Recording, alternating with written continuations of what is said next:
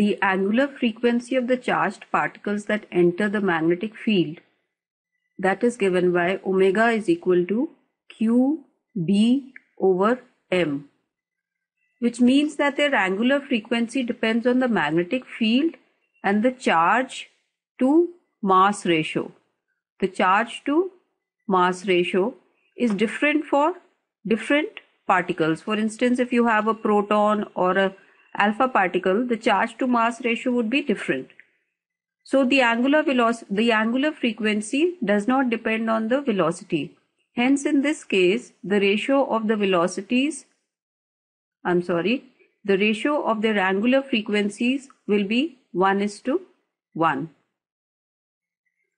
Okay, now just a little bit more explanation to understand this. See, if this is the direction of the magnetic field and the particle enters perpendicular to the magnetic field, this particle is going to move in a circular path.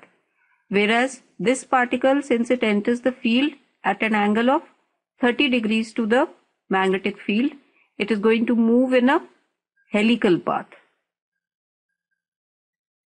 So that is the difference in the paths of the two particles, though their frequency remains the same, which means they're going to make the same number of revolutions in one second.